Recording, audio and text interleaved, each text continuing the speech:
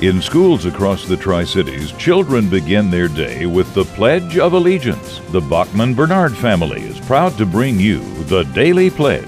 Pledge allegiance to the flag of the United States of America and to the Republic for which it stands, one nation, under God.